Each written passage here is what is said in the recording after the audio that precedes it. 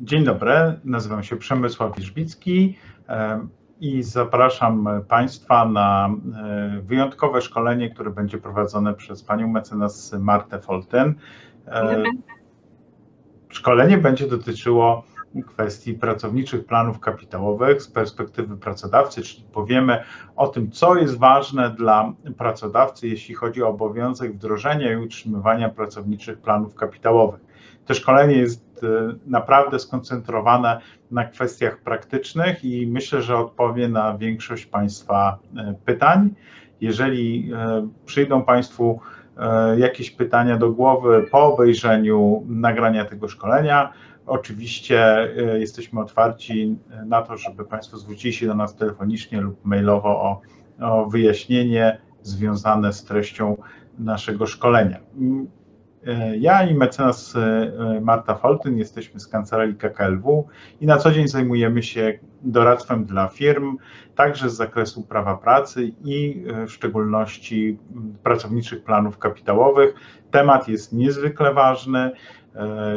Niedługo wejdę, większość przedsiębiorców będzie objęta obowiązkami związanymi z wdrożeniem i utrzymaniem PPK i e, ta kwestia jest nie, tyle, nie tylko jakimś czym e, obowiązkiem, ale też jest związana z odpowiedzialnością prawną i finansową. W związku z tym myślę, że warto e, poświęcić chwilę czasu i dowiedzieć się na temat szczegółów funkcjonowania pracowniczych planów kapitałowych z perspektywy pracodawcy. Zapraszam Państwa serdecznie na to szkolenie. Jeśli chodzi o plan dzisiejszego szkolenia, w pierwszej kolejności chciałabym Państwu przedstawić informacje podstawowe o pracowniczych planach kapitałowych, w skrócie PPK.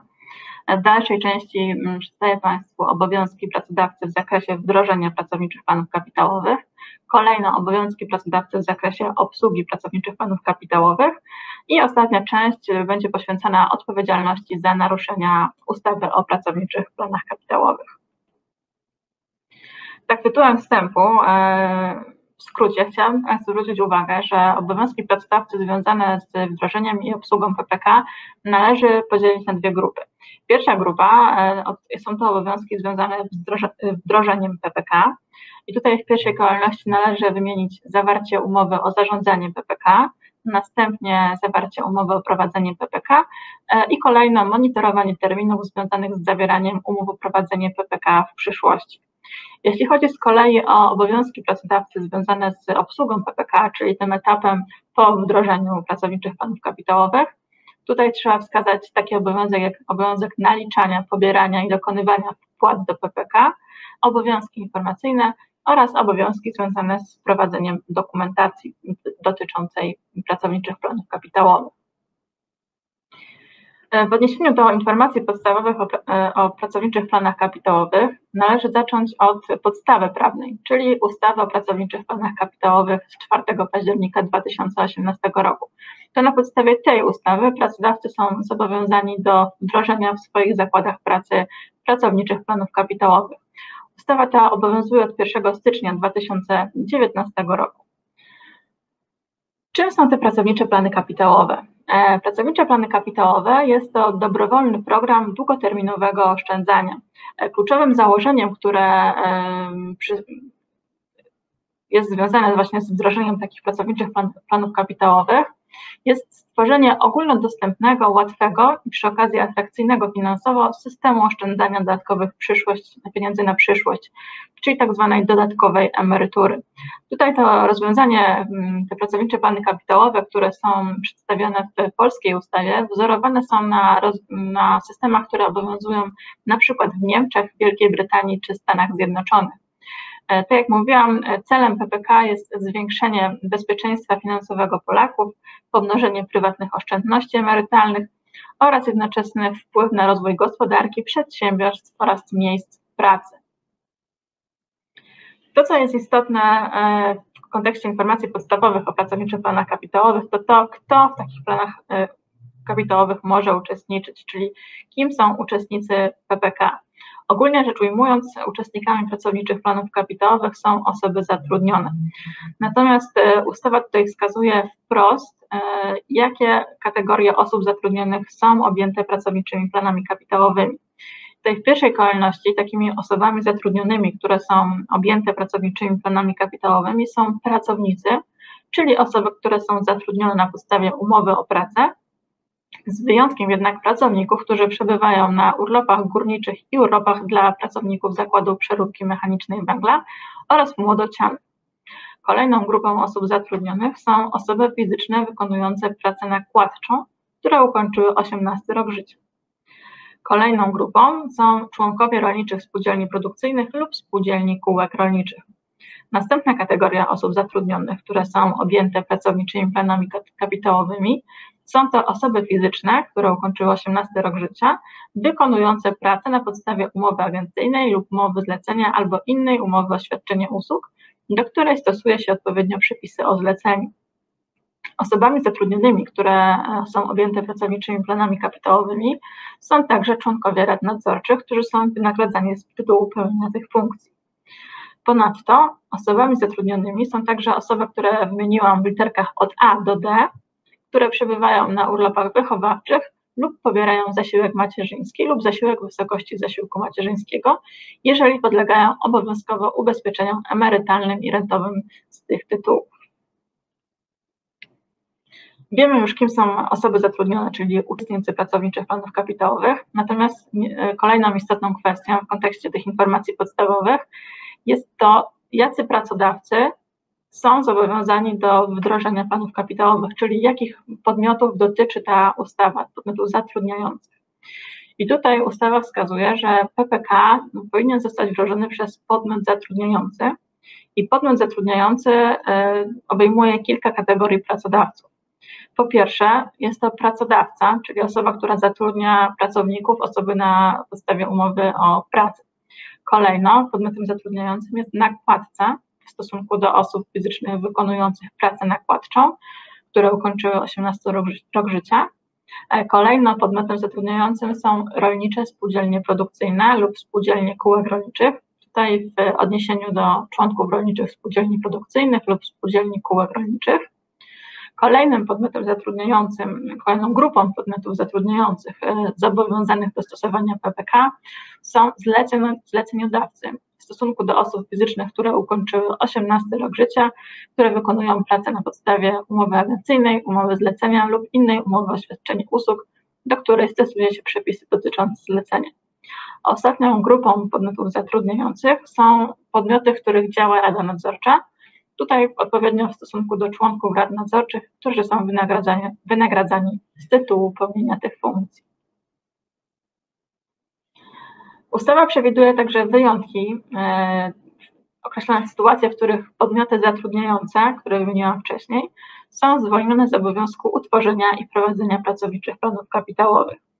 E, pierwszy taki przypadek e, zwolnienia z obowiązku wdrożenia mm, PPK, prowadzenia PPK, jest przypadek podmiotu zatrudniającego, który w dniu rozpoczęcia stosowania do niego ustawy prowadzi PPE, czyli pracowniczy program emerytalny, i odprowadza składki podstawowe w wysokości co najmniej 3,5% wynagrodzenia, pod warunkiem, że w takim PPE uczestniczy co najmniej 25% osób zatrudnionych.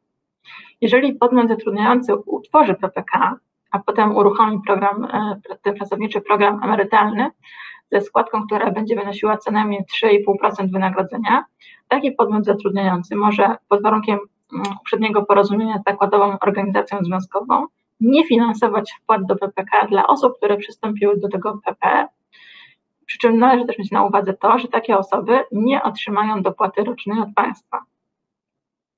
Kolejnym podmiotem zwolnionym z obowiązku utworzenia i prowadzenia PPK jest osoba fizyczna, która zatrudnia w zakresie niezwiązanym ze swoją działalnością gospodarczą osobą, osobę fizyczną w zakresie niezwiązanym z działalnością gospodarczą tej osoby.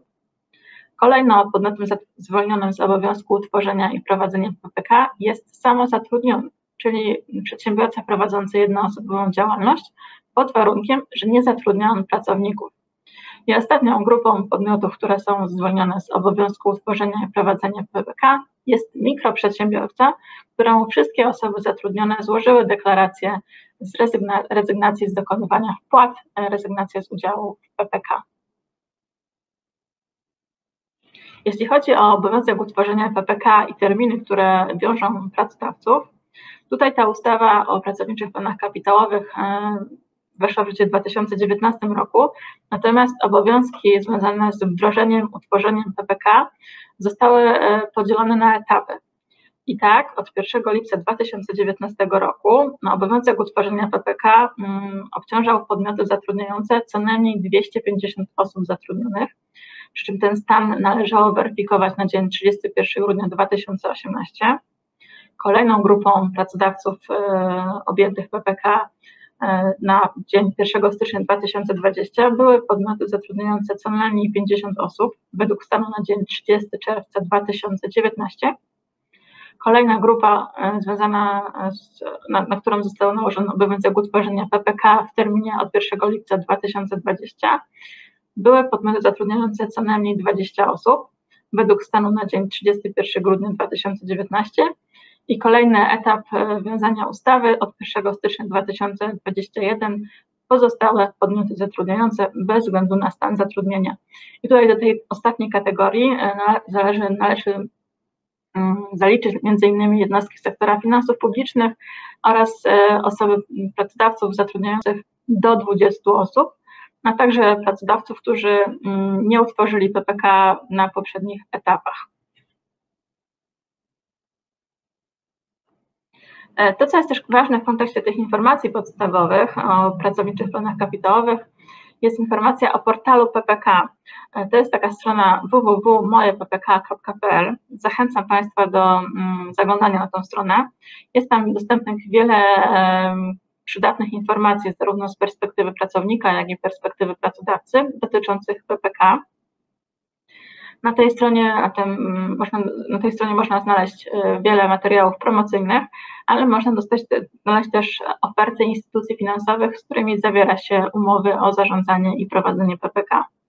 Także zachęcam, myślę, że y, można tam znaleźć wiele odpowiedzi na nurtujące zarówno pracowników, jak i pracodawców pytania. W tej części szkolenia chciałabym Państwu opowiedzieć o obowiązkach pracodawcy związanych z wdrożeniem i obsługą pracowniczych planów kapitałowych. E, takie obowiązki związane z PPK z perspektywy pracodawcy należy podzielić na dwie kategorie. Po pierwsze są to obowiązki związane z wdrożeniem PPK, po drugie obowiązki związane z obsługą pracowniczych planów kapitałowych. Jeśli chodzi o tą pierwszą kategorię obowiązków, czyli obowiązki związane z wdrożeniem PPK, tutaj przede wszystkim należy wymienić po pierwsze obowiązek zawarcia umowy o zarządzanie PPK, kolejno zawarcie umowy o prowadzenie PPK oraz obowiązek monitorowania terminów związanych z zawieraniem umów o prowadzenie PPK w przyszłości. Jeśli zaś chodzi o obowiązki związane z obsługą PPK, to tutaj pracodawca jest zobowiązany do naliczania, pobierania i dokonywania wpłat do PPK, e, do przekazywania informacji względem pracowników, e, względem e, uczestników PPK oraz instytucji finansowej. Na pracodawcy także ciąży obowiązek prowadzenia dokumentacji, przechowywania dokumentacji związanej z PPK. Jeśli chodzi o obowiązki pracodawcy w zakresie wdrożenia PPK, tak jak mówiłam, w pierwszej kolejności taki, taki pracodawca powinien zawrzeć umowę o zarządzanie PPK, a następnie zawrzeć umowę o prowadzenie PPK w imieniu i na rzecz osób zatrudnionych oraz monitorować terminy związane z zawieraniem takich umów dla, nowych, dla osób nowo zatrudnionych. Jeśli chodzi o terminy na zawarcie takich umów, jesteśmy jeszcze mm, przed upływem mm, terminów dla dwóch e, grup pracodawców.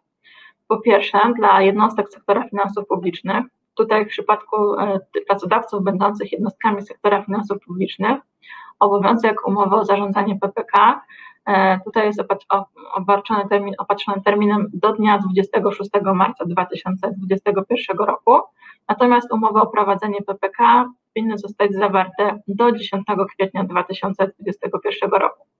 Jeśli chodzi o pozostałych pracodawców, mm, czyli pracodawców zatrudniających do 20 pracowników oraz pracodawców, którzy nie wdrożyli, nie byli zobowiązani do wdrożenia PPK e, na poprzednich etapach, Tutaj taka umowa o zarządzanie PPK powinna zostać zawarta do 23 kwietnia 2021 roku. Z kolei umowa o prowadzenie PPK powinna zostać zawarta do 10 maja 2021 roku. E, zarówno umowa o zarządzanie, jak i umowa o prowadzenie PPK zawiera się z instytucją finansową. I taką instytucją finansową, zgodnie z ustawą o pracowniczych planach kapitałowych, jest pierwsze fundusz inwestycyjny, który jest zarządzany przez Towarzystwo Funduszy Inwestycyjnych, które zostało umieszczone w ewidencji PPK. E, po drugie, fundusz emerytalny, zarządzany przez Powszechne Towarzystwo Emerytalne albo Pracownicze Towarzystwo Emerytalne, które zostały umieszczone w ewidencji PPK. E, oraz ostatnia grupa to Zakład Ubezpieczeń, który został umieszczony w ewidencji PPK.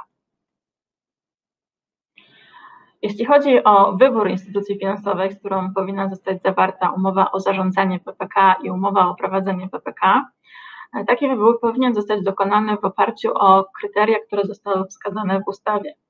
I tak, takimi kryteriami jest po pierwsze ocena proponowanych przez instytucje finansowe warunków zarządzania środkami gromadzonymi w PPK, które efektywność takich instytucji e, w zarządzaniu aktywami oraz posiadane przez takie instytucje finansowe doświadczenie w zarządzaniu funduszami inwestycyjnymi lub funduszami emerytalnymi.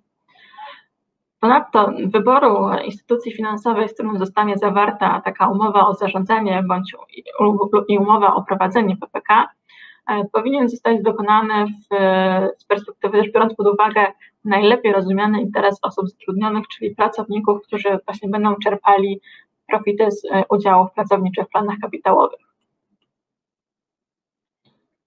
E, poza tymi kryteriami, które wymieniłam przed chwilą, które są wskazane wprost w ustawie, e, można też wziąć pod uwagę inne kryteria i tutaj warto się mm, kierować takimi kryteriami jak na przykład dotychczasowe doświadczenie i wyniki finansowe, wysokość kosztów związanych z zarządzaniem pracowniczymi planami kapitałowymi, E, kompetencje zespołów zarządzających i przyjęte polityki dotyczące inwestowania środków w ramach pracowniczych planów kapitałowych, e, na przykład też zakres wsparcia w procesie wdrażania i obsługi PPK w firmie.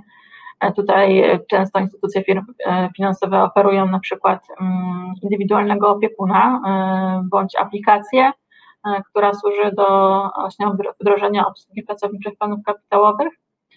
E, kolejną kryterium może być też możliwość korzystania przez uczestników PPK z narzędzia informatycznego do zarządzania swoim kontem mm, PPK, czyli na przykład właśnie jakąś specjalną e, aplikacją mm, bądź e, innym mm, programem komputerowym. To, co jest też ważne, to to, że wszystkie oferty instytucji finansowych, które, z którymi mogą zostać zawarte umowy o zarządzanie i prowadzenie PPK, znajdują się na portalu mojeppk.pl. To, co jest też ważne jeszcze w kontekście wyboru tej instytucji finansowej z perspektywy pracodawcy, to to, że taki wybór powinien zostać należycie udokumentowany.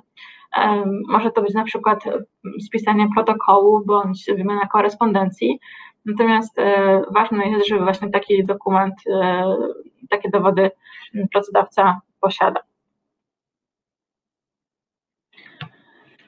Mm, jeśli chodzi tutaj o ten wybór e, instytucji finansowej, trzeba też zwrócić uwagę, że pracodawca nie jest uprawniony do dowolnego, samodzielnego mm, wyboru takiej instytucji finansowej. Wybór taki powinien zostać uzgodniony ze stroną pracowniczą. E, w sytuacji, gdy u pracodawcy funkcjonuje zakładowa organizacja związkowa, wybór takiej instytucji finansowej powinien zostać dokonany w porozumieniu z taką instytucją finansową. Jeśli u pracodawcy nie funkcjonuje taka zakładowa organizacja związkowa, wyboru należy dokonać w porozumieniu z reprezentacją pracowników. Tutaj ustawa e, nie wskazuje żadnych e, wymogów formalnych, jaka to powinna być reprezentacja pracowników, z ilu osób się powinna składać, mm, w jakim trybie powinna być e, wyłoniona. Należy więc przyjąć, że to jest taki tryb mm, przyjęty ogólnie u danego pracodawcy. Tak jak w odniesieniu do pozostałych kwestii, które powinny być zgodnie z przepisami uzgadnione z reprezentacją pracowników. To, co jest też istotne, jest ważne z perspektywy pracodawcy w kontekście właśnie wyboru tego, te, tej instytucji finansowej, to to, że w sytuacji, gdy pracodawca pominie zakładową organizację związkową bądź reprezentację pracowników, powinien liczyć się z możliwością pociągnięcia go do odpowiedzialności odszkodowawczej względem osób zatrudnionych. Dlatego warto naprawdę tutaj tego obowiązku e, dopilnować. E, jeśli chodzi o ten wybór, ten wybór instytucji finansowej powinien zostać dokonany na, najpóźniej na miesiąc przed upływem terminu, w którym e, dany pracodawca zobowiązany jest do zawarcia umowy o zarządzanie pracowniczymi planami kapitałowymi. Jeżeli w tym terminie na miesiąc przed terminem na zawarcie umowy o zarządzanie PPK takie porozumienie między pracodawcą a mm, zakładową organizacją związkową bądź reprezentacją pracowników e, nie zostanie zawarte, mm, pracodawca będzie uprawniony do samodzielnego dokonania wyboru mm, instytucji finansowej, natomiast będzie on musiał się kierować e, kryteriami, które są wskazane w ustawie o pracowniczych planach kapitałowych. W kontekście wyboru instytucji finansowej warto też zwrócić uwagę na kwestię mm, prawa zamówień publicznych.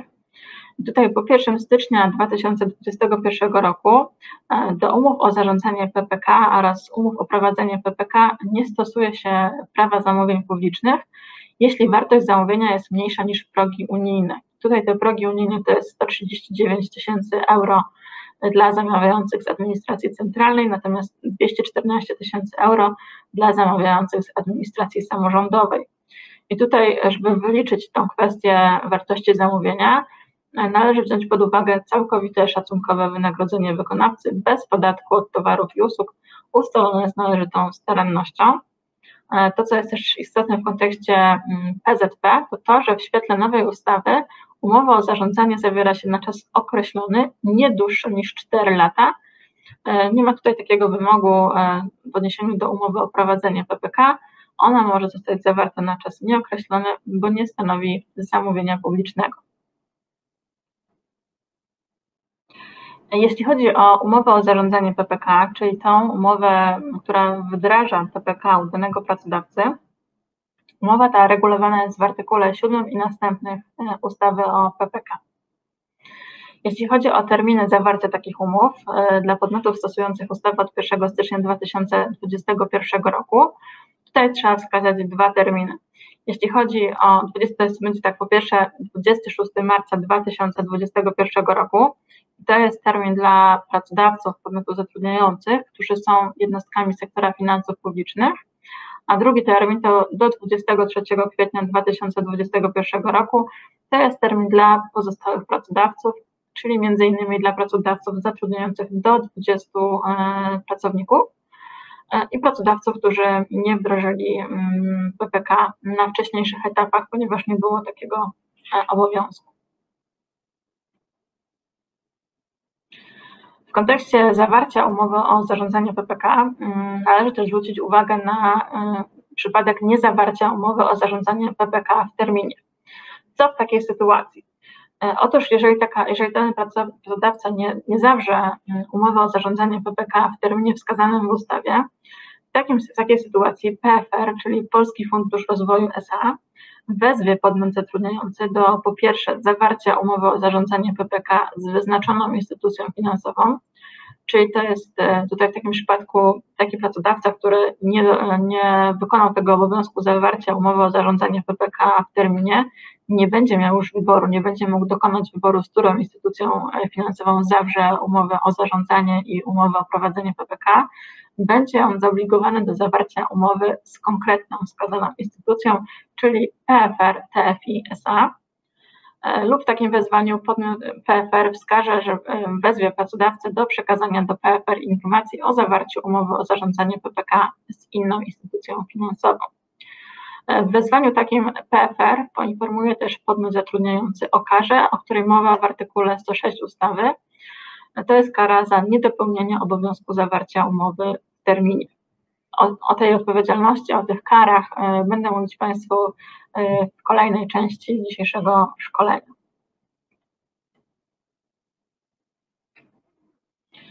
Jeśli chodzi o umowę o zarządzanie PPK, Warto mieć na uwadze to, że w ustawie w artykule 10 ust. 1 ustawy wskazane zostały elementy, które powinny zostać zawarte, powinny zostać uwzględnione w takiej umowie.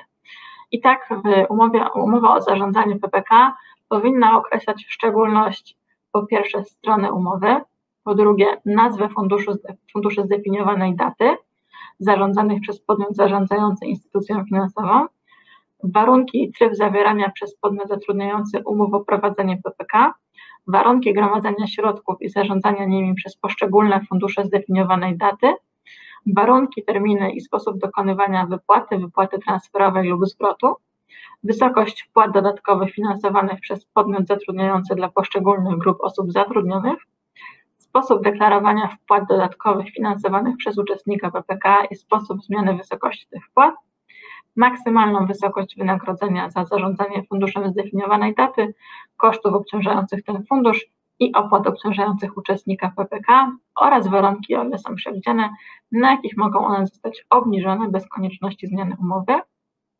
warunki zmiany umowy, warunki okres wypowiedzenia i okres wypowiedzenia umowy oraz warunki dokonywania konwersji lub zamiany. To, co jest ważne, to to, że umowa o zarządzanie PPK nie może zawierać warunków mniej korzystnych niż warunki prezentowane przez instytucję finansową w portalu PPK, czyli na stronie mojeppk.pl w dniu zawarcia tej umowy. E, tutaj z perspektywy pracodawcy też ważna jest kwestia taka, że taka umowa może być negocjowana. Musi ona oczywiście zawierać te elementy, które są wskazane w ustawie. Mm, natomiast y, w kontekście negocjacji trzeba podkreślić to, że nie ma możliwości negocjowania opłaty za, za zarządzanie, ponieważ generalnie instytucja finansowa powinna stosować jedną stawkę wynagrodzenia za zarządzanie, aby nie różnicować sytuacji uczestników pracowniczych planów kapitałowych. Jeśli chodzi o formę o umowę o zarządzanie PPK, taka umowa zawierana jest w postaci elektronicznej, która pozwala na jej utrwalenie, na, na utrwalenie treści na trwałym nośniku. To, co jest też e, ważne w kontekście umowy o zarządzanie PPK, to możliwość wypowiedzenia. E, podmiot zatrudniający może wypowiedzieć umowę o zarządzanie PPK pod warunkiem, że zawarł umowę o zarządzanie PPK z inną instytucją finansową zarządzaną przez inne towarzystwo funduszy inwestycyjnych, powszechne towarzystwo emerytalne, pracownicze towarzystwo emerytalne albo zakład ubezpieczeń. Jeśli chodzi o taki, e, takie wypowiedzenie umowy o zarządzaniu PPK krok po kroku, wygląda to następująco. W pierwszej kolejności mm, pracodawca, który chce wypowiedzieć umowę o zarządzanie, którą dotychczas zawarł, powinien zawrzeć umowę o zarządzanie PPK z nową instytucją finansową. Dopiero po zawarciu tej nowej umowy może on wypowiedzieć dotychczasową umowę o zarządzaniu PPK. Kolejno powinien zawrzeć umowę o prowadzenie PPK w imieniu i na rzecz wszystkich uczestników PPK. Tutaj zawarcie takiej umowy powinno nastąpić nie później niż w terminie 7 dni od dnia zawarcia umowy o zarządzaniu PPK. Kolejnym krokiem, nie później niż w terminie 7 dni od zawarcia umowy o zarządzaniu PPK, jest poinformowanie uczestników PPK o wypowiedzeniu dotychczasowej umowy o zarządzanie PPK oraz obowiązku złożenia wniosku w formie pisemnej o wypłatę transferową i przekazanie środków na rachunek nowej instytucji finansowej. Kolejnym krokiem jest złożenie dyspozycji wypłat transferowych w imieniu tych uczestników PPK, którzy w wyznaczonym terminie nie powiadomili podmiotu zatrudniającego o braku zgody na taki transfer. Sprzeciw po tym terminie e, wskazanym powyżej będzie uznawany za skuteczny. Kolejnym krokiem po zawarciu przez podmiot zatrudniający z instytucją finansową umowy o zarządzanie PPK jest zawarcie umowy o prowadzenie PPK. Kolejnym obowiązkiem pracodawcy po zawarciu umowy o zarządzanie PPK jest zawarcie umowy o prowadzenie PPK. Kwestia umowy o prowadzenie PPK regulowana jest w artykule 14 i następnych e, ustawy o pracowniczych planach kapitałowych. Jeśli chodzi o terminy na zawarcie takich umów, tutaj należy wskazać dwa terminy. 10 kwietnia 2021 roku to jest termin dla jednostek sektora finansów publicznych oraz drugi termin 10 maja 2021 roku to jest termin dla pozostałych pracodawców, czyli pracodawców zatrudniających do 20 pracowników oraz pracodawców, którzy powinni wdrożyć PPK, ponieważ nie zostali objęci ustawą na wcześniejszych etapach.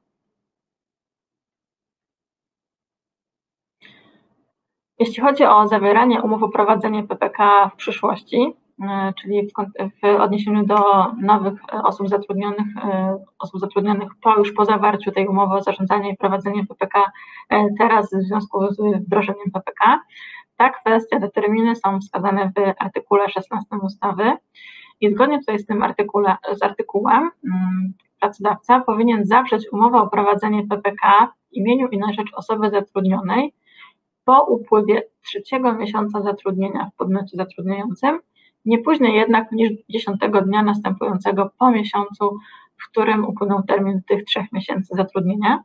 Nie ma takiego obowiązku zawarcia umowy o prowadzenie PPK w sytuacji, gdy osoba zatrudniona zadeklaruje przed upływem tego terminu niedokonywanie wpłat do PPK na podstawie deklaracji w formie pisemnej, którą złoży pracodawcy, bądź w sytuacji, gdy w tym terminie taka osoba przestanie być e, osobą zatrudnioną w stosunku do danego podmiotu zatrudniającego. Co w sytuacji, gdy mm, pracodawca nie zawrze umowy o prowadzenie PPK w terminie wskazanym w ustawie? Otóż w przypadku, gdy podmiot zatrudniający nie dopełni tego obowiązku, i nie zawrze w terminie umowy o prowadzenie PPK w imieniu i na rzecz osoby zatrudnionej, czyli w tym terminie nie później niż do 10 dnia miesiąca następującego po miesiącu, w którym upłynął termin trzech miesięcy zatrudnienia, przyjmuje się, że w pierwszym dniu po upływie tego terminu osoba zatrudniona stała się uczestnikiem PPK z mocy prawa. E, nie dokonuje się w takim przypadku wstecznym wpłat, i w odniesieniu do wpłat na rachunek uczestników PPK, w stosunku do których podmiot zatrudniający zawarł umowę o prowadzenie PPK z opóźnieniem, podmiot zatrudniający powinien i dokonywać począwszy od najbliższego wynagrodzenia.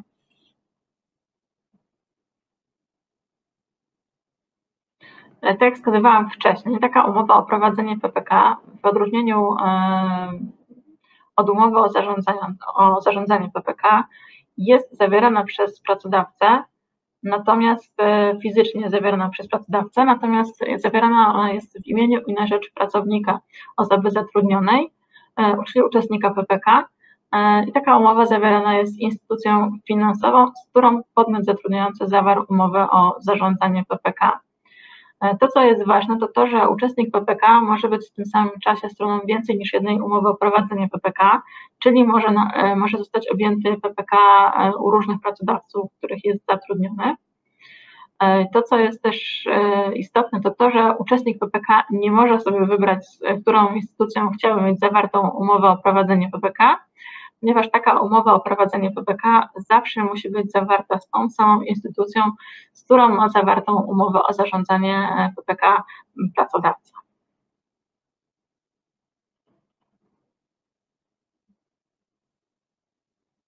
Jeśli chodzi o umowę o prowadzenie PPK, tutaj trzeba zwrócić uwagę na kwestię obowiązków informacyjnych.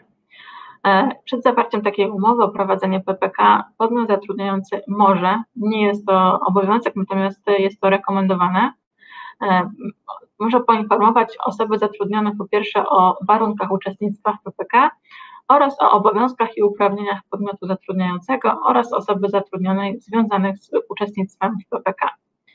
Natomiast instytucja finansowa, z którą została zawarta umowa o prowadzenie PPK, jest już obowiązana, czy to jest obligatoryjne, poinformować osoby zatrudnione o warunkach uczestnictwa w PPK, w tym o możliwości konwersji i zamiany oraz obowiązkach i uprawnieniach podmiotu zatrudniającego oraz osoby zatrudnionej związanych z uczestnictwem w PPK.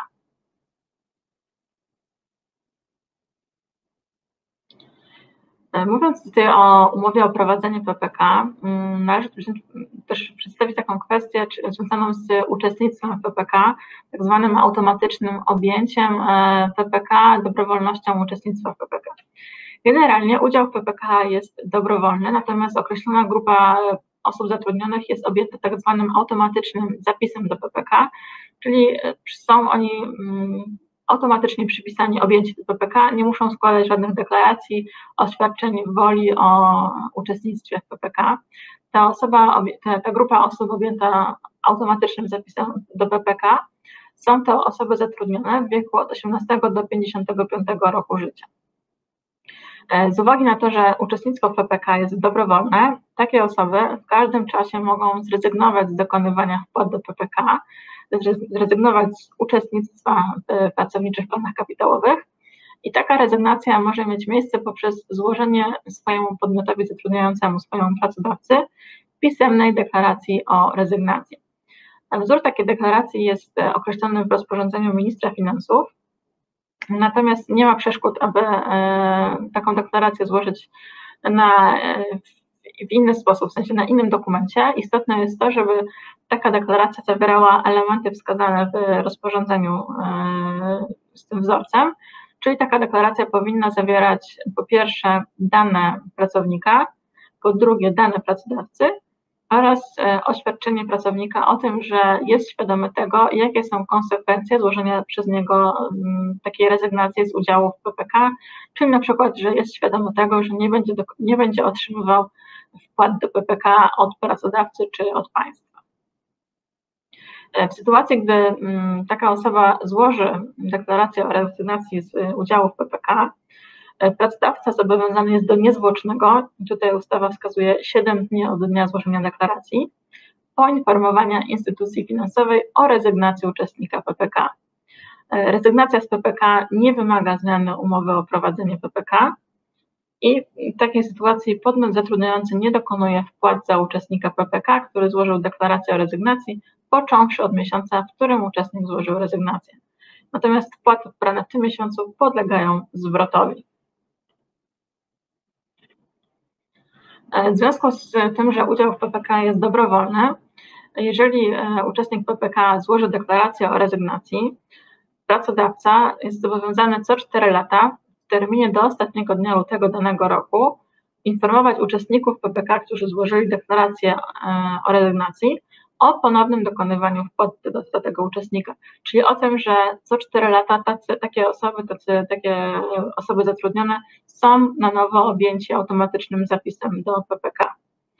Co 4 lata, od dnia 1 kwietnia, mm, podmiot zatrudniający będzie dokonywał wpłat za uczestnika PPK, który złożył deklarację o rezygnacji PPK, chyba że uczestnik ten ponownie zrezygnuje z dokonywania wpłat do PPK.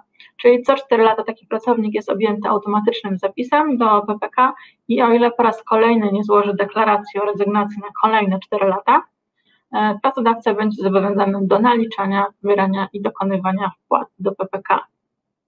To, co jest ważne, to to, że e, uczestnik PPK, który złożył deklarację o rezygnacji, może w każdym czasie złożyć e, wniosek o przystąpienie ponowne do PPK o dokonywanie wpłat do PPK. E, tak jak mówiłam, osoby między 18 a 55 rokiem życia są objęci automatycznym zapisem do PPK, tak zwany autozapis. Jeżeli takie osoby nie chcą uczestniczyć w PPK, powinny złożyć deklarację o rezygnacji. Kolejna grupa osób, czyli osoby pomiędzy 55 a 70 rokiem życia, mogą uczestniczyć w PPK, natomiast muszą złożyć wniosek e, do swojego pracodawcy o przystąpienie, o objęcie ich e, pracowniczymi planami kapitałowymi i muszą spełnić wymóg wskazany w ustawie. Jeżeli taki wymóg jest e, spełniony, to pracodawca zawiera w ich imieniu umowę o prowadzenie E, takie osoby między 55 a 70 rokiem życia mogą przystąpić do PPK, jeżeli w okresie 12 miesięcy poprzedzających pierwszy dzień zatrudnienia byli zatrudnieni w tym podmiocie zatrudniającym łącznie przez co najmniej 3 miesiące. Z kolei pracownicy, którzy są powyżej 70 roku życia, nie mają możliwości zawarcia umowy o prowadzenie PPK. Tak jak w przypadku umowy o zarządzanie PPK, tak w przypadku umowy o prowadzenie PPK ustawa wskazuje elementy, które powinny się znaleźć w umowie o prowadzenie PPK. E, tutaj wśród takich elementów należy wskazać, że taka umowa w szczególności powinna określać takie kwestie jak po pierwsze mm, stronę umowy, w tym wybraną instytucję finansową, po drugie dane identyfikujące uczestnika PPK, po trzecie, sposób deklarowania wpłat dodatkowych finansowanych przez uczestnika PPK i sposób wysokości, zmiany wysokości tych wpłat. Kolejno, nazwy funduszu zdefiniowanej daty zarządzanych przez podmiot zarządzający instytucją finansową. warunki gromadzenia środków i zarządzania nimi przez poszczególne fundusze zdefiniowanej daty. Kolejno sposób składania deklaracji w sprawie podziału wpłat dokonywanych do PPK pomiędzy poszczególne fundusze zdefiniowanej daty. Następnie sposób zmiany funduszu zdefiniowanej daty. Kolejno warunki, terminy i sposób dokonywania wypłaty, wypłaty transferowej lub zwrotu, sposób składania dyspozycji, zakres, częstotliwość i forma informowania uczestnika PPK o środkach zgromadzonych na jego rachunku PPK oraz maksymalną wysokość wynagrodzenia, wynagrodzenia za zarządzanie funduszem zdefiniowanej daty, kosztów obciążających ten fundusz i opłat obciążających uczestnika PPK oraz warunki, o ile są przewidziane, na jakich mogą one zostać obniżone bez konieczności zmiany umowy o prowadzenie PPK. Zawierając umowę o prowadzenie PPK, ta umowa jest zawierana przez pracodawcę, natomiast zawierana jest ona w imieniu i na rzecz e, pracownika, uczestnika PPK. E, tutaj może powstać pytanie o to, jakie dane osobowe należy mm, uczestnika PPK podmiot zatrudniający powinien przekazywać do e, instytucji finansowej. I tak tutaj mm, ustawa w artykule 20 wskazuje, że należy przekazać dane uczestnika PPK, za takie dane należy uznać e, imię bądź imiona, nazwisko, adres zamieszkania, adres do korespondencji, numer telefonu pod warunkiem, że e, podmiot zatrudniający posiada informacje w tym zakresie, adres poczty elektronicznej, analogicznie, jeżeli mm, tutaj pracodawca taki adres posiada, PESEL lub datę urodzenia w przypadku osób nieposiadających numeru PESEL, oraz serię i numer dowodu osobistego lub numer paszportu albo innego dokumentu potwierdzającego tożsamość w przypadku osób, które nie posiadają obywatelstwa polskiego. E, po zawarciu umowy o prowadzenie PPK, ta instytucja finansowa, z którą została zawarta e, umowa, udostępni uczestnikowi PPK informację o zawarciu umowy o prowadzenie PPK i ta informacja zostanie zawarta, zostanie przekazana w postaci elektronicznej, pozwalającej na utrwalenie treści na trwałym nośniku lub za pomocą systemu teleinformatycznego. Natomiast na wniosek uczestnika WPK taka informacja może zostać przekazana w formie papierowej.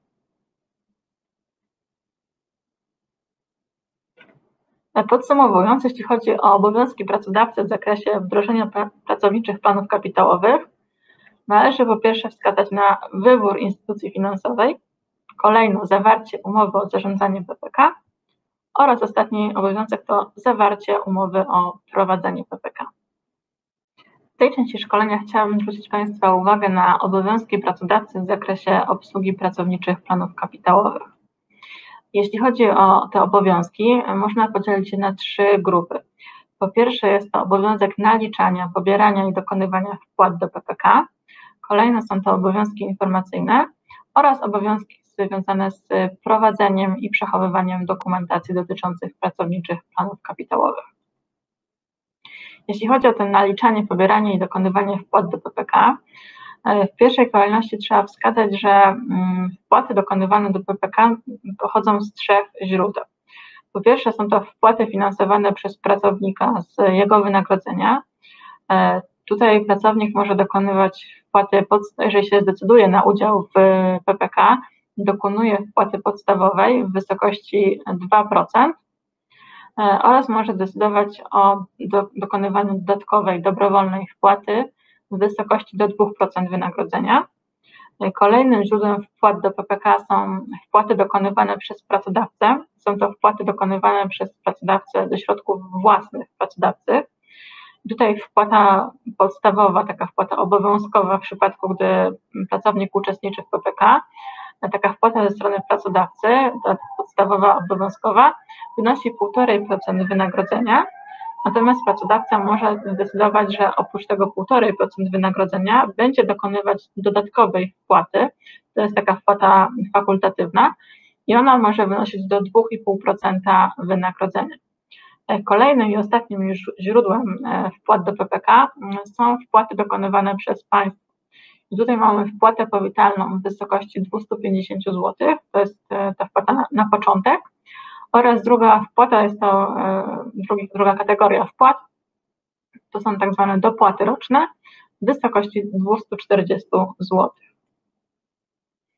Jeśli chodzi o podstawę do wyliczania wysokości wpłaty, czyli wyliczenia tych procentów, jak mówiłam, one są liczone jako procent wynagrodzenia, przy czym należy zwrócić uwagę, że to wynagrodzenie jest rozumiane jako podstawa wymiaru składek na ubezpieczenia emerytalne i rentowe uczestnika PPK. I tutaj nie ma zastosowania ograniczenie kwotowe oraz wyłączona jest podstawa wymiaru składek na ubezpieczenia emerytalne i rentowe osób przebywających na urlopie wychowawczym oraz pobierających zasiłek macierzyński lub zasiłek w wysokości zasiłku macierzyńskiego. Oznacza to, że do ustalenia podstawy wpłat do PPK należy stosować zasady ustalania podstawy wymiaru składek na ubezpieczenia emerytalne i rentowe, o których mowa w ustawie o systemie ubezpieczeń społecznych. Jeśli chodzi o tą podstawę e, wyliczania wysokości wpłat do PPK, czyli tą podstawę wymiaru składek na ubezpieczenie emerytalne i rentowe, zgodnie z przepisami ustawy o systemie ubezpieczeń społecznych, tutaj ta kwestia jest uregulowana w artykule 18 ust. 1 i 2, Podstawę wymiaru składek na ubezpieczenia emerytalne i rentowe ubezpieczonych stanowi przychód w rozumieniu przepisów o podatku dochodowym od osób fizycznych uzyskiwany z tytułu zatrudnienia w ramach stosunku pracy, przy czym to jest przychód z wyłączeniem po pierwsze wynagrodzenia za czas niezdolności do pracy wskutek choroby lub odosobnienia w związku z chorobą zakaźną oraz zasiłków z ubezpieczeń społecznych, oraz z wyłączeniem przychodów wymienionych w paragrafie drugim ustęp 1 rozporządzenia ministra pracy i polityki socjalnej w sprawie szczegółowych zasad ustalania podstawy wymiaru składek na ubezpieczenia emerytalne i rentowe. Jeśli chodzi o przychody, o te przychody e, z tego rozporządzenia, czyli te przychody, które podlegają wyłączeniu przy wyliczeniu podstawy do naliczenia wpłat do PPK, Tutaj wśród tych przychodów należy wymienić innymi po pierwsze nagrody jubileuszowe, czyli tak zwane gratyfikacje, które według zasad określających warunki ich przyznawania przysługują pracownikowi nie częściej niż co 5 lat. Kolejno odszkodowania wypłacone byłym pracownikom po rozwiązaniu stosunku pracy na podstawie umowy o zakazie konkurencji, o której mowa w artykule 101 z indeksem 2 kodeksu pracy. Kolejno wartość finansowanych przez pracodawcę posiłków udostępnianych pracownikom do spożycia bez prawa do ekwiwalentu z tego tytułu do wysokości nieprzekraczającej miesięcznie kwoty 190 zł. Kolejno zwrot kosztów używania w jazdach, jazdach lokalnych przez pracowników dla potrzeb pracodawcy pojazdów nie będących własnością pracodawcy Tutaj do wysokości miesięcznego ryczałtu pieniężnego albo do wysokości nieprzekraczającej kwoty ustalonej przy zastosowaniu stawek za 1 km przebiegu pojazdu, które są określone w odrębnych przepisach wydanych przez właściwego ministra, jeżeli przebieg pojazdu z wyłączeniem wypłat ryczałtu pieniężnego jest udokumentowany przez pracownika w ewidencji przebiegu pojazdu prowadzonej przez niego według zasad określonych w przepisach o podatku dochodowym od osób fizycznych. E, kolejną grupą tych przychodów z tego rozporządzenia, e, które są wyłączone przy wyliczaniu podstawy do naliczania wpłat do PPK, są diety i inne należności z tytułu podróży służbowej pracownika. Tutaj do wysokości określonej w przepisach w sprawie wysokości oraz warunków ustalania należności przysługujących pracownikowi zatrudnionemu w państwowej lub samorządowej jednostce sfery budżetowej tytułu podróży służbowej na obszarze kraju oraz poza granicami kraju z zastrzeżeniami wskazanymi w tym rozporządzeniu. Świadczenia finansowane ze środków przeznaczonych na cele socjalne w ramach Zakładowego Funduszu Świadczeń Socjalnych.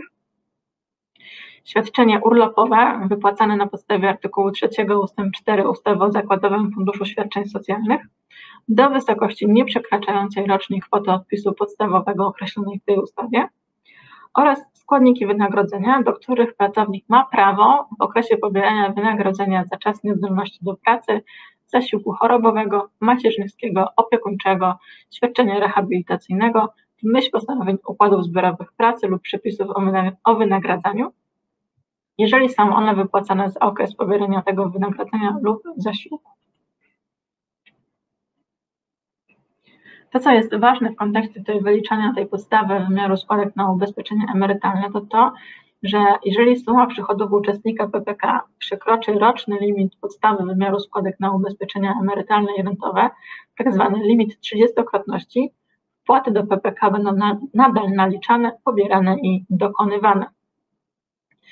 Sytuacji natomiast przyznania uczestnikowi PPK przez pracodawcę świadczenia niepieniężnego, które stanowi podstawę wymiaru składek na ubezpieczenia emerytalne i rentowe, gdy w miesiącu otrzymania tego świadczenia uczestnik PPK nie otrzymał żadnego innego wynagrodzenia, z którego można by było dokonać potrącenia wpłat do PPK finansowanych przez uczestnika, podmiot zatrudniający jest zobowiązany do naliczenia i dokona, dokonania wpłat do PPK tylko tych finansowanych przez siebie, z uwagi na to, że po prostu nie ma takiego wynagrodzenia, z którego e, mógłby potrącić wpłatę dokonywaną przez pracownika.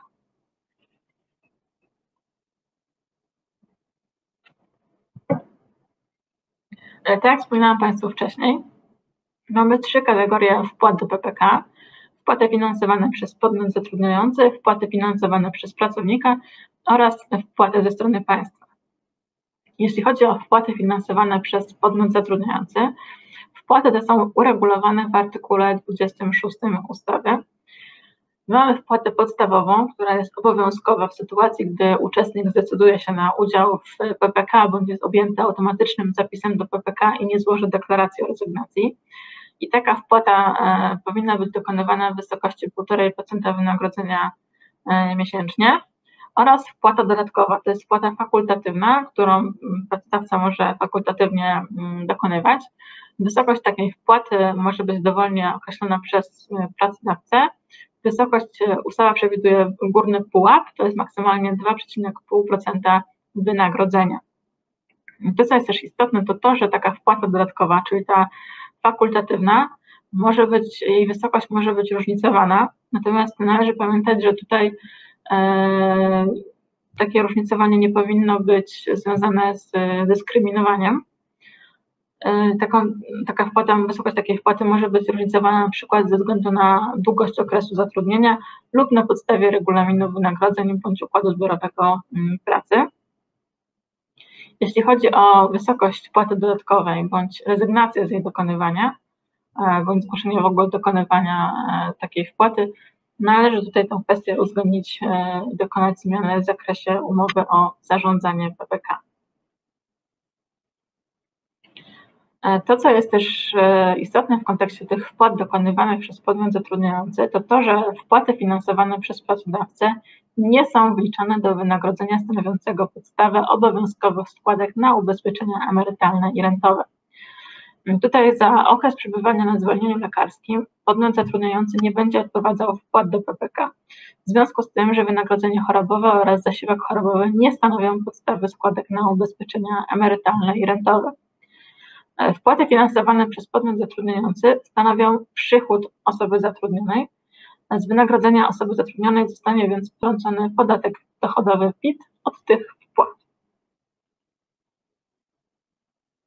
Jeśli chodzi o wpłaty finansowane przez uczestnika PPK, e, kwestia ta uregulowana jest w artykule 27 ustawy i analogicznie jak e, w przypadku wpłat dokonywanych przez pracodawcę, mamy dwie kategorie wpłat, czyli wpłatę podstawową obowiązkową w przypadku udziału w PK oraz wpłatę dodatkową fakultatywną, na którą e, może zdecydować pracownik. Jeśli chodzi o wpłatę podstawową, e, wysokość tej wpłaty to jest 2% wynagrodzenia i wyjątkowo taka wpłata może wynosić mniej niż 2% wynagrodzenia, ale nie mniej niż 0,5% wynagrodzenia, jeżeli wynagrodzenie uczestnika PPK osiągane z różnych źródeł w danym miesiącu nie przekracza kwoty stanowiącej 1,2-krotności minimalnego wynagrodzenia. Jeśli chodzi o wysokość wpłaty dodatkowej, czyli tej wpłaty fakultatywnej, taka wpłata może być dokonywana w wysokości do 2% wynagrodzenia. Mm, to, co tutaj jeszcze trzeba powiedzieć a propos tych wpłat, to to, że mm, wysokość wpłaty, zmiana wysokości wpłaty podstawowej lub dodatkowej lub rezygnacja z jej dokonywania wymaga deklaracji ze strony uczestnika PPK. Najlepiej, żeby to była deklaracja e, pisemna, żeby po prostu pracodawca mógł ją e, zachować w swojej dokumentacji i zgłosić odpowiednie informacje do instytucji finansowej. Jeśli chodzi o te wpłaty finansowane przez uczestnika PPK, tutaj trzeba podkreślić, że one są potrącane e, przez pracodawcę z wynagrodzenia pracownika po jego opodatkowaniu. Czyli tutaj pracownik nie dokonuje żadnych fizycznych, technicznych czynności, nie dokonuje żadnego przylewu dodatkowej wpłaty, Tutaj ta czynność e, jest dokonywana przez pracodawcę, to pracodawca nalicza wysokość tej wpłaty, następnie e, po prostu pobiera, mm, potrąca tą wysokość tej wpłaty z wynagrodzenia, wynagrodzenia wypłacanego pracownikowi. I po takim potrąceniu e, przekazuje tą wpłatę do instytucji finansowej na konto danego uczestnika. Ustawa wskazuje też maksymalny limit wpłat do, i dopłat. Ta kwestia jest opisana w artykule 25a ustawy o pracowniczych planach kapitałowych i zgodnie z tymi przepisami maksymalny limit wpłat i dopłat na wszystkie rachunki PPK w danym roku kalendarzowym to równowartość złotych polskich kwoty 50 tysięcy dolarów amerykańskich według średniego kursu ogłoszonego przez NBP na ostatni dzień roboczy poprzedzający dzień 31 grudnia roku poprzedzającego dany rok kalendarzowy. Po przekroczeniu tego limitu dalsze wpłaty nie są dokonywane. Analogicznie nie są dokonywane żadne dopłaty. Przepraszam, problem techniczny.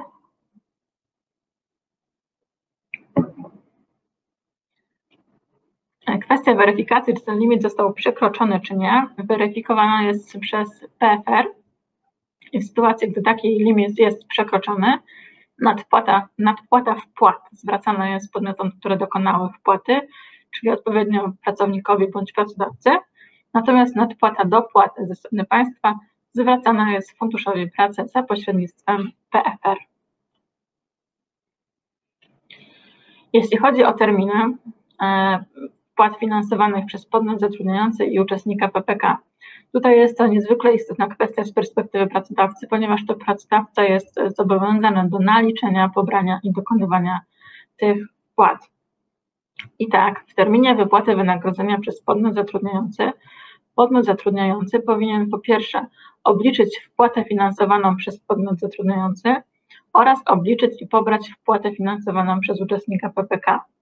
Natomiast do 15 dnia miesiąca następującego po miesiącu, w którym wysokość wpłaty została obliczona i pobrana, podmiot zatrudniający powinien dokonać wpłaty na rachunek wskazany przez instytucję finansową prowadzącą e, rachunek uczestnika PPK. Tutaj taka techniczna e, uwaga praktyczna. Jeżeli wynagrodzenie wypłacane jest w okresach krótszych niż miesiąc, wówczas wpłaty należne za miesiąc dokonywane są w terminie do ostatniego dnia miesiąca. Jak wygląda taka wpłata na PPK w praktyce? Tutaj sposób, trzeba wskazać, że sposób przekazywania wpłat do PPK powinna określać umowa o zarządzaniu PPK. E, wpłaty powinny być przekazywane na rachunki poszczególnych uczestników PPK, natomiast e, technicznie zazwyczaj wygląda to tak, że pracodawca dokonuje jednego przelewu, natomiast instytucja finansowa dzieli te środki przekazane, przelane na rachunki poszczególnych e, uczestników PPK biorąc pod uwagę kwestię wysokości wpłat e, finansowanych przez pracodawcę oraz wpłat finansowanych przez e, pracownika.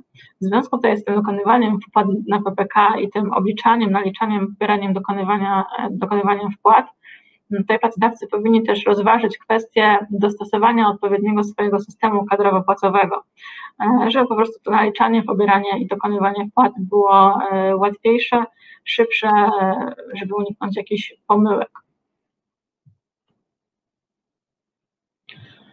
Jeśli chodzi o wpłaty finansowane przez podmiot zatrudniających, mm, tutaj wskazać trzeba, że są one, stanowią one koszty uzyskania przychodów pracodawcy i są one kosztami uzyskania przychodów w miesiącu, za które są należne, pod warunkiem jednak, że zostaną odprowadzone w terminie określonym w ustawie o PPK, czyli do 15 dnia miesiąca następującego po miesiącu, w którym zostały obliczone. Przez miesiąc, za który wpłaty do PPK są należne, należy rozumieć miesiąc, za który należne jest wynagrodzenie pracownika stanowiące podstawę do obliczenia wysokości wpłaty do PPK finansowanej przez podmiot zatrudniający. W przypadku niedokonania wpłat do PPK w części finansowanej przez podmiot zatrudniający w terminie wskazanym w ustawie, niedokonane wpłaty do PPK w części finansowanej przez podmiot zatrudniający nie stanowią kosztów uzyskania przychodów dla tego pracodawcy, i w takim przypadku wpłaty do PPK stanowią koszt uzyskania przychodów pracodawcy w miesiącu, w którym zostanie dokonana wpłata środków do PPK do instytucji finansowej.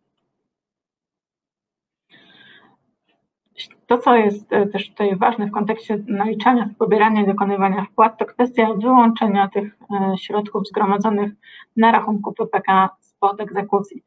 Takie środki, zgodnie z artykułem 95 ustawy o PPK, nie podlegają egzekucji sądowej ani, ani administracyjnej, ale mamy tu jedno wyłączenie, ponieważ e, to ograniczenie niepodlegania egzekucji nie ma zastosowania do egzekucji, która ma na celu zaspokojenie roszczeń alimentacyjnych, w tym należności budżetu państwa powstałych z tytułu świadczeń wypłaconych w przypadku bezskuteczności egzekucji alimentów. Tutaj w takim przypadku komornik może zająć takie środki, zarówno wpłaty od osoby zatrudnionej, jak i od podmiotu zatrudniającego oraz państwa. E, to, co jest ważne, to kwestia taka praktyczna w kontekście tej egzekucji, e, zwłaszcza egzekucji niealimentacyjnej. E, jak, na, jak podmiot zatrudniający powinien obliczyć wypłatę dla pracownika, który ma egzekucję komorniczą nie z powodu alimentów i jest zapisany do PPK? Otóż w takiej sytuacji, po pierwsze, podmiot zatrudniający bierze pod uwagę kwotę wypłaty brutto, następnie odlicza od niej obowiązkowe składki na ZUS i podatek dochodowy, kolejno wylicza z tej kwoty kwotę brutto 2% na wpłatę na PPK, na kwotę wpłat, wypłaty dla osoby zatrudnionej rezerwuje wysokość minimalnej krajowej i odlicza od niej składkę na PPK. Wypłatę netto pomniejszoną o składkę na PPK przekazuje osobie zatrudnionej, natomiast całą pozostałą kwotę przekazuje komornikowi.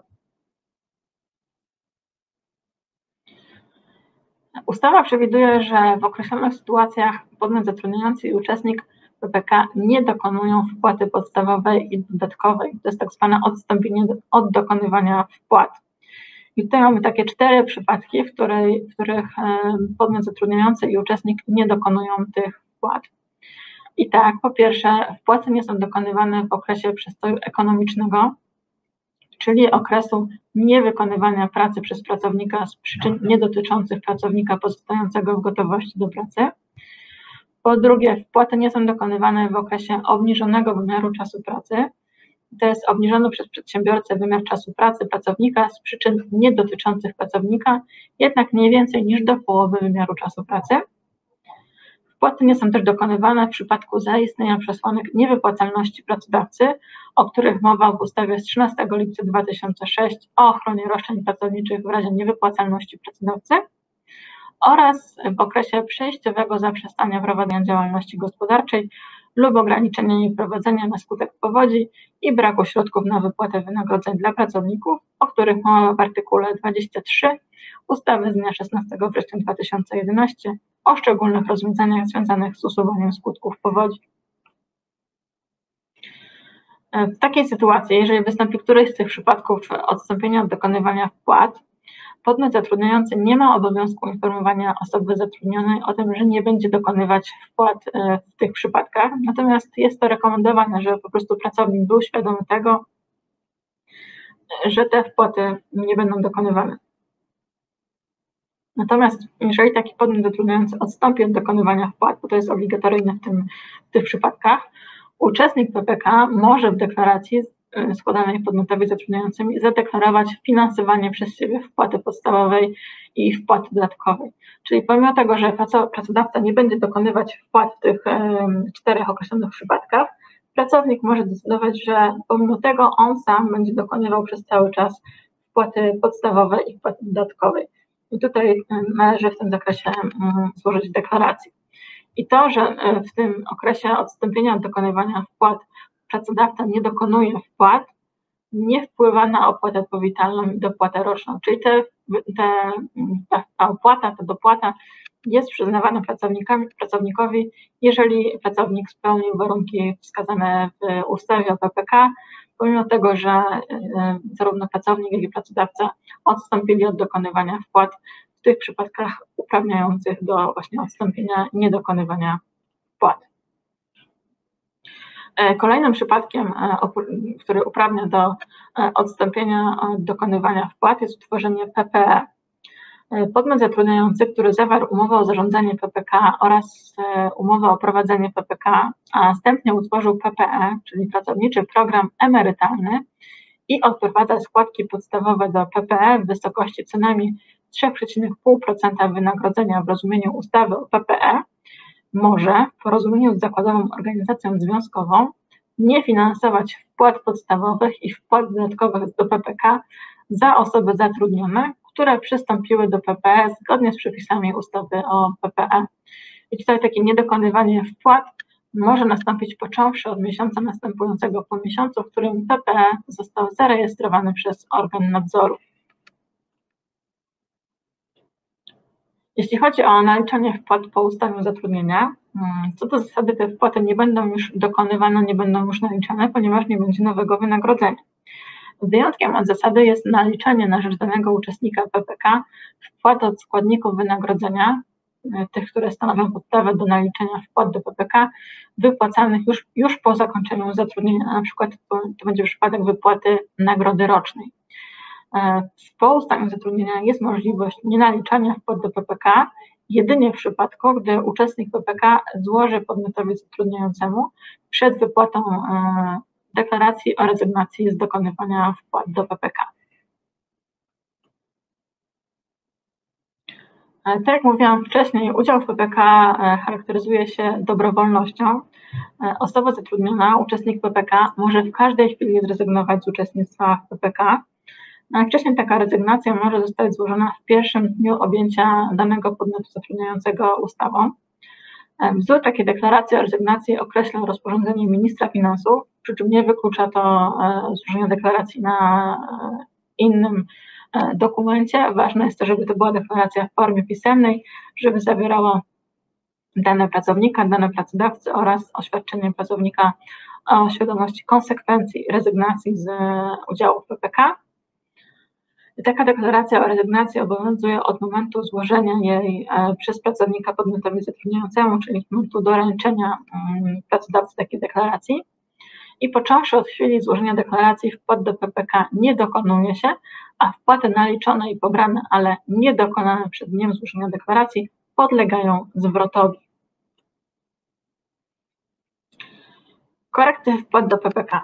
Jeżeli dojdzie do konieczności potrzeby korekty wpłat do PPK, należy ich dokonać na zasadzie bilansowania.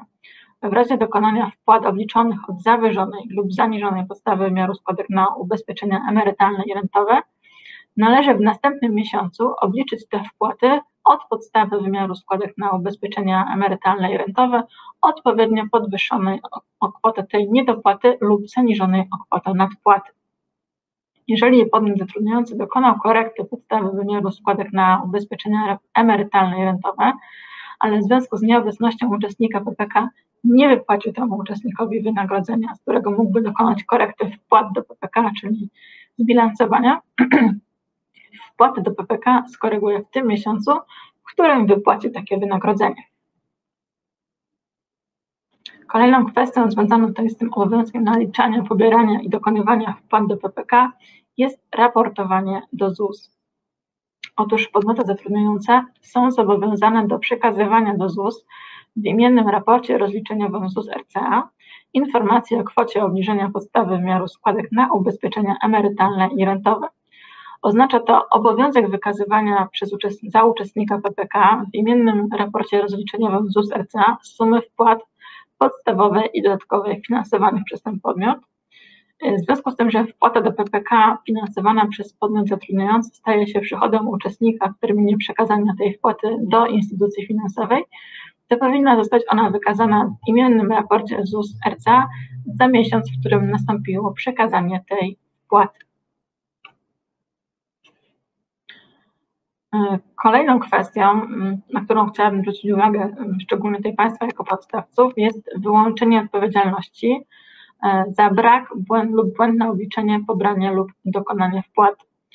E, otóż zgodnie z artykułem 28, 28 ust. 6 ustawy o PPK, podmiot zatrudniający nie ponosi odpowiedzialności za brak lub błędne obliczenie, pobranie lub dokonanie wpłaty, jeżeli jest to spowodowane przekazaniem podmiotowi zatrudniającemu przez osobę zatrudnioną błędnych informacji skutkujących błędnym ustaleniem w przedmiocie podlegania przez daną osobę zatrudnioną obowiązkowo ubezpieczeniu emerytalnemu i rentowemu z tytułu zatrudnienia w danym podmiocie zatrudniającym.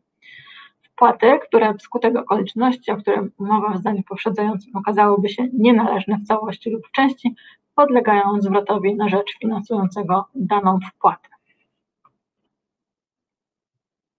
Jeśli chodzi o trzecią kategorię wpłat do PPK, czyli oprócz wpłat dofinansowanych przez pracownika, wpłat finansowanych przez pracodawcę, mamy wpłaty finansowane przez państwo. Tutaj mamy wpłatę powitalną i dopłatę roczną. Wpłaty finansowane przez państwo są finansowane z Funduszu Pracy i nie będą one stanowiły dla uczestnika PPK dochodu, tym samym nie będą obciążone podatkiem dochodowym.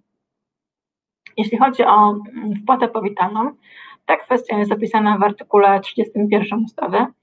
Taka wpłata powitalna przysługuje w wysokości 250 zł i przysługuje ona uczestnikowi PPK, który ma zawartą umowę o prowadzenie PPK i który przez co najmniej 3 pełne miesiące kalendarzowe jest uczestnikiem PPK, jeżeli w okresie uczestnictwa w PPK dokonano wpłat podstawowych finansowanych przez uczestnika PPK za co najmniej 3 miesiące.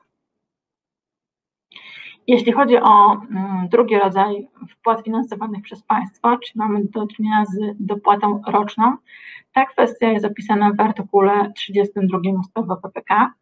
E, taka dopłata przysługuje w wysokości 240 zł i przysługuje ona, jeżeli kwota wpłat podstawowych i dodatkowych finansowanych przez podmiot zatrudniający oraz uczestnika PPK w danym roku kalendarzowym jest równa co najmniej kwocie wpłat podstawowych należnych od kwoty stanowiącej sześciokrotność minimalnego wynagrodzenia obowiązującego w tym roku. Inne warunki nabycia takiej dopłaty rocznej mm, mają miejsce w stosunku do uczestnika PPK, który finansuje wpłatę podstawową w wysokości poniżej 2% wynagrodzenia. W takim przypadku dopłata roczna przysługuje, gdy, wpłata, gdy kwota wpłat podstawowych dodatkowych finansowanych przez podmiot zatrudniający oraz uczestnika PPK w danym roku kalendarzowym jest równa co najmniej kwocie 25% kwoty wpłat podstawowych należnych od kwoty stanowiącej sześciokrotność minimalnego wynagrodzenia obowiązującego w tym roku. Za dany rok kalendarzowy uczestnik PPK może nabyć prawo tylko do jednej dopłaty rocznej, niezależnie od liczby prowadzonych dla niego rachunków PPK, czyli niezależnie od tego, u ilu pracodawców e, dany uczestnik PPK jest klienty PPK, przysługuje mu tylko i wyłącznie jedna dopłata roczna. Jeśli chodzi o koszty związane z pracowniczymi planami kapitałowymi, mm, ta kwestia jest uregulowana w artykule 49 i następnych ustawy. Tutaj e, w pierwszej kolejności chciałabym zwrócić Państwa uwagę na kwestię wynagrodzenia należnego e, instytucji finansowej. Tutaj to wynagrodzenie, e, mamy dwa typy wynagrodzenia. Po pierwsze, wynagrodzenie za zarządzanie funduszem, i takie wynagrodzenie wynosi maksymalnie 0,5% wartości aktywów netto funduszu w skali roku. Dodatkowo mamy wynagrodzenie za osiągnięty wynik, tak zwane success fee. To jest maksymalnie 0,1% wartości aktywów netto funduszu w skali roku. I takie wynagrodzenie, tak zwane success fee, może być pobierane przez e, instytucję finansową, jeżeli spełnione są następujące warunki. Po pierwsze, realizacja dodatniej stopy zwrotu funduszu inwestycyjnego, funduszu emerytalnego lub subfunduszu za dany rok, osiągnięcie w danym roku przez fundusz inwestycyjny, fundusz emerytalny lub subfundusz stopy zwrotu przewyższającej stopę referencyjną oraz osiągnięcie na ostatni dzień wyceny w listopadzie w danym roku stopy zwrotu przez fundusz inwestycyjny, fundusz emerytalny lub subfundusz na poziomie nie niższym niż 75% najwyższych stóp zwrotu funduszu tej samej zdefiniowanej daty, czyli maksymalnie takie koszt wynagrodzenia za e, zarządzanie, obsługę e, PPK, wynagrodzenia należnego instytucji finansowej może wynosić maksymalnie 0,6% wartości aktywów netto funduszu w skali roku. To, co jest ważne, to to, że te koszty są pobierane właśnie z tych aktywów, obciążają one pracowników, uczestników PPK, nie obciążają one pracodawców.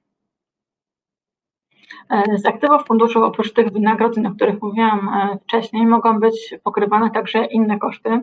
Te koszty zostały wskazane wprost w artykule 50 ustawy. To jest katalog zamknięty tych kosztów. I tutaj wśród nich należy wymienić przede wszystkim prowizje i opłaty na rzecz firm inwestycyjnych lub banków, z których fundusz zdefiniowanej daty korzysta, zawierając transakcje w ramach lokowania aktywów funduszu zdefiniowanej daty. Po drugie, prowizje i opłaty związane z umowami i transakcjami funduszu zdefiniowanej daty, zawieranymi w ramach lokowania aktywów funduszu zdefiniowanej daty. Podatki i opłaty wymagane w związku z działalnością funduszu zdefiniowanej daty, w tym opłaty za zezwolenia, jeżeli obowiązek ich poniesienia wynika z przepisów prawa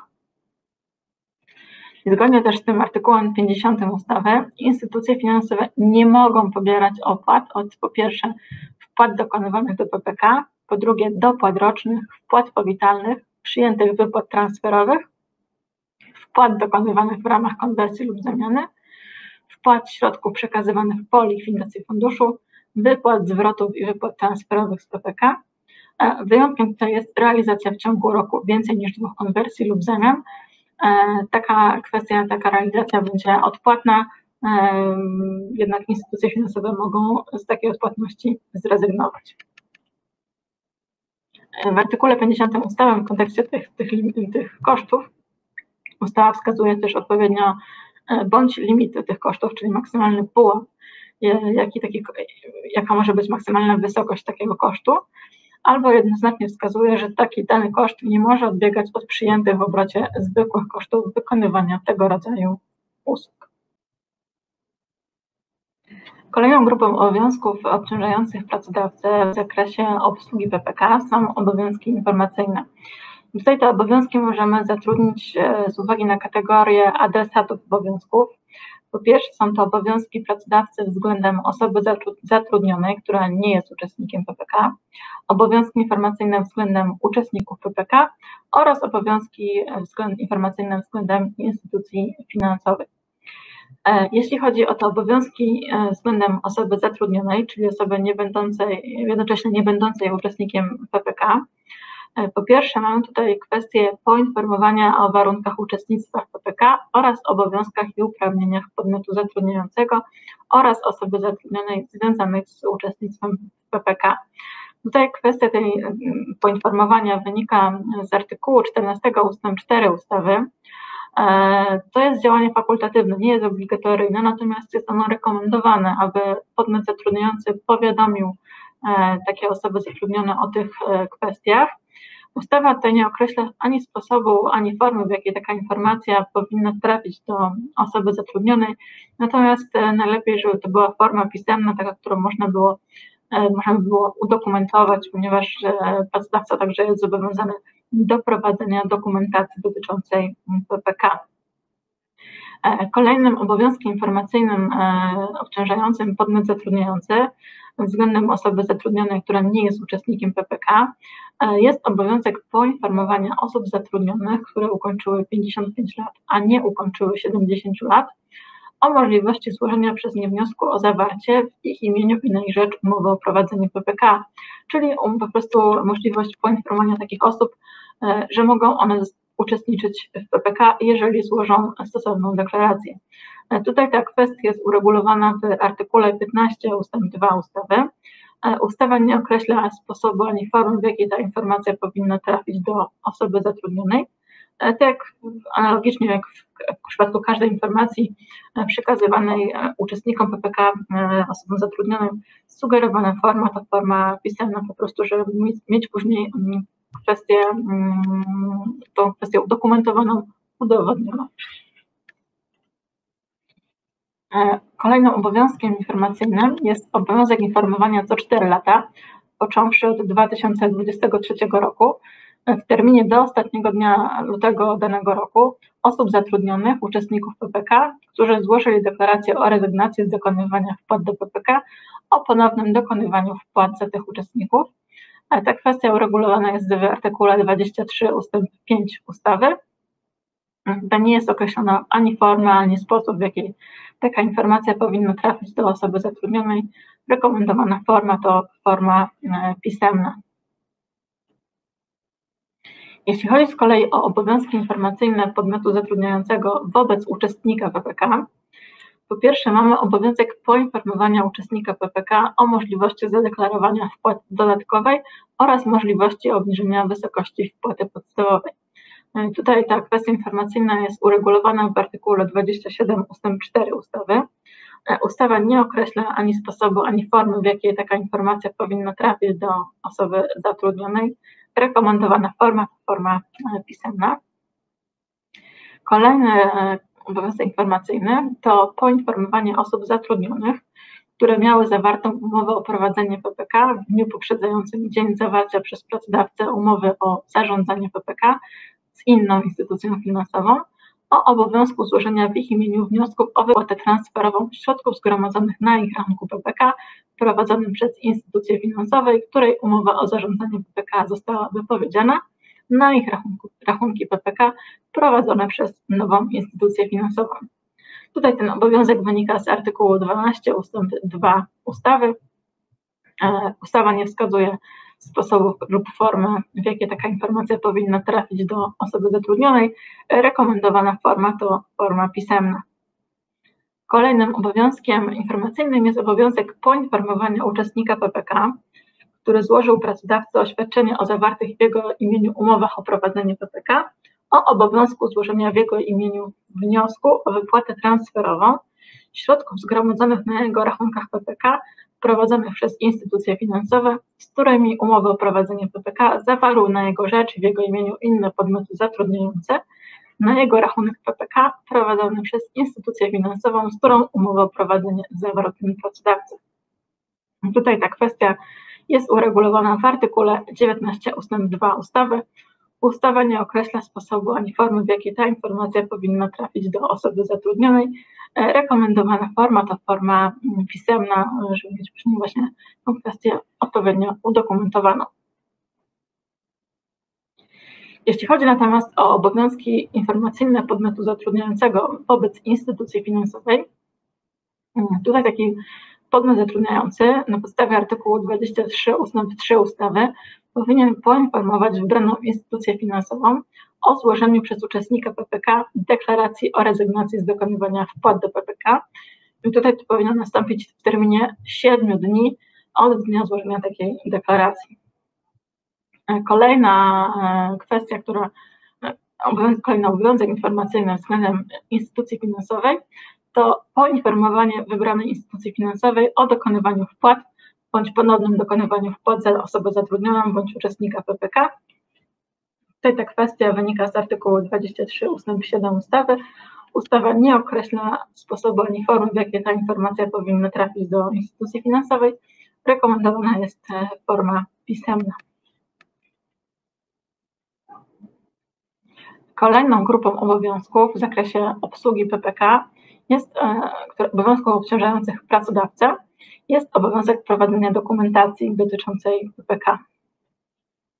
I tutaj chciałam Państwu przedstawić tą, tą, tą kwestię obowiązku prowadzenia dokumentacji na podstawie takiej tabeli, e, gdzie mam w pierwszej, w pierwszej kolejności chciałabym przedstawić Państwu rodzaje dokumentacji oraz wskazać, w jakiej formie taka dokumentacja powinna być prowadzona. E, po pierwsze, mamy dokumentację dotyczącą wynagrodzenia, która stanowi podstawę naliczenia wpłat do PPK, e, czyli listy płac i imiennej karty wynagrodzeń. I co jeśli chodzi o formę, to taka, forma, taka, taka dokumentacja powinna być prowadzona zgodnie z obowiązującymi w tym zakresie przepisami. Kolejna grupa dokumentacji to dokumentacja dotycząca dokonywania wpłat lub rezygnacji z dokonywania wpłat do PPK, czyli wnioski o dokonywanie wpłat, deklaracje rezygnacji z dokonywania wpłat do PPK. Tutaj forma to forma pisemna. Kolejny rodzaj dokumentacji to dokumentacja dotycząca wpłaty podstawowej finansowanej przez uczestnika PPK, czyli deklaracja uczestnika PPK w zakresie obniżenia wpłaty podstawowej, w zakresie zmiany wysokości wpłaty podstawowej, bądź w zakresie finansowania wpłaty podstawowej w przypadku niefinansowania wpłat przez podmiot zatrudniający Tutaj forma takiej dokumentacji nie została określona w ustawie o PPK, natomiast rekomendowana to forma to forma pisemna. Jeśli chodzi o dokumentację dotyczącą wpłaty finansowanej przez uczestnika PPK, tutaj w zakresie zmiany wysokości wpłaty dodatkowej, w zakresie rezygnacji z finansowania wpłaty dodatkowej i w zakresie finansowania wpłaty dodatkowej w przypadku niefinansowania wpłat przez podmiot zatrudniający. Forma takiej dokumentacji także nie została określona w ustawie o PPK. Rekomendowana forma to forma pisemna.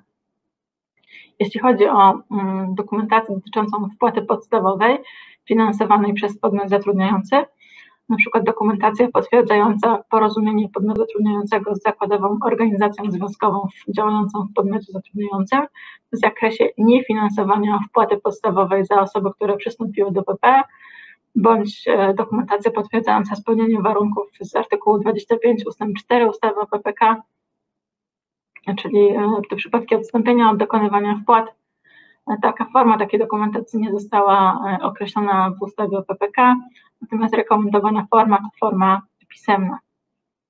Jeśli chodzi o dokumentację dotyczącą wpłaty dodatkowej finansowanej przez podmiot zatrudniający, czyli deklaracja podmiotu zatrudniającego w zakresie odprowadzania wpłaty dodatkowej, w zakresie zmiany wysokości wpłaty dodatkowej, w zakresie rezygnacji z finansowania wpłaty dodatkowej.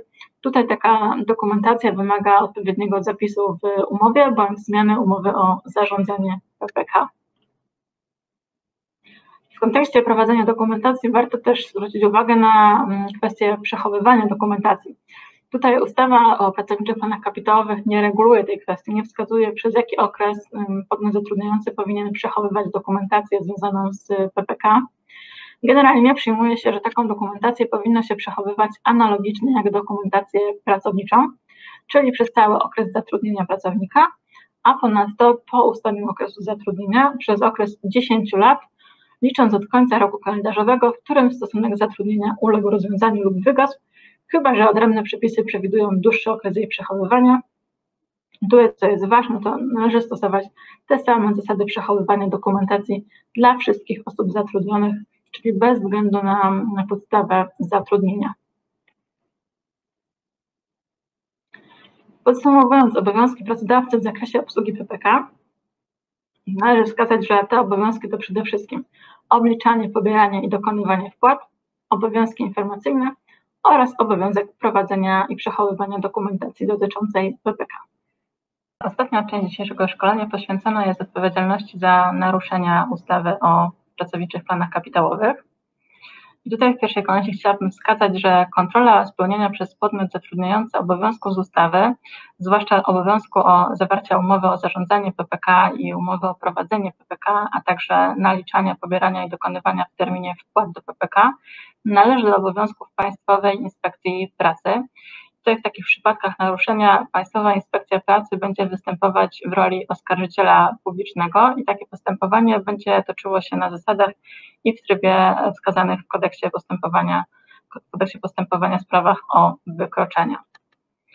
Mówiąc o odpowiedzialności za naruszenie, tutaj w pierwszej kolejności chciałabym wskazać, że zgodnie z artykułem 106 ustawy sankcjonowane jest niedopełnienie obowiązku zawarcia umowy o zarządzanie PBK w terminie i zgodnie z tą przywołaną e, regulacją, kto jako podmiot zatrudniający albo osoba obowiązana do działania w imieniu podmiotu zatrudniającego nie dopełnia obowiązku zawarcia umowy o zarządzanie w przewidzianym terminie, podlega karze grzywny w wysokości do 1,5% funduszu wynagrodzeń udanego podmiotu zatrudniającego w roku obrotowym poprzedzającym popełnienie tego czynu.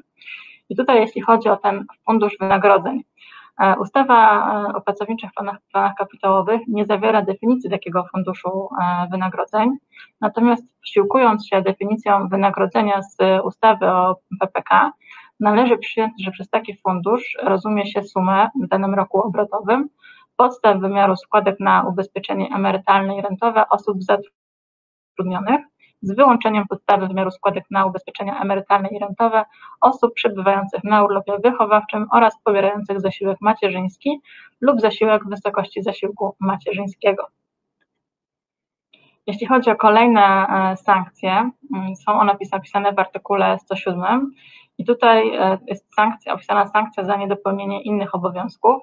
I zgodnie z tym przepisem, kto jako podmiot zatrudniający albo osoba obowiązana do działania, działania w imieniu podmiotu zatrudniającego nie dopełnia obowiązku zawarcia w imieniu i na rzecz osoby zatrudnionej umowy o prowadzenie PPK w terminie, nie dopełnia obowiązku dokonywania wpłat do PPK w przewidzianym terminie, nie zgłasza wymaganych ustawą o PPK danych lub zgłasza dane nieprawdziwe albo udziela w tych sprawach nieprawdziwych wyjaśnień lub odmawia ich udzielenia, albo nie prowadzi dokumentacji związanej z obliczaniem wpłat do PPK, taka osoba podlega karze grzywny w wysokości od 1000 zł do 1 miliona złotych.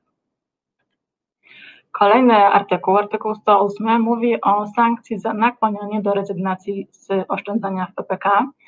I tutaj ustawa że przewiduje, że kto jako podmiot zatrudniający albo osoba upoważniona do działania w imieniu podmiotu zatrudniającego lub działająca z inicjatywy tego podmiotu nakłania osobę zatrudnioną lub uczestnika PPK do rezygnacji z oszczędzania w PPK, podlega karze grzywny w wysokości do 1,5% funduszu wynagrodzeń u danego podmiotu zatrudniającego w roku obrotowym poprzedzającym pełnienie czynu zabronionego.